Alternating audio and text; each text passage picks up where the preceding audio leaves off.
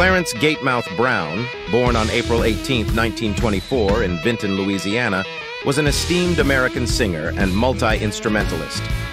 Raised near Orange, Texas, his influence on the development of Texas blues was profound.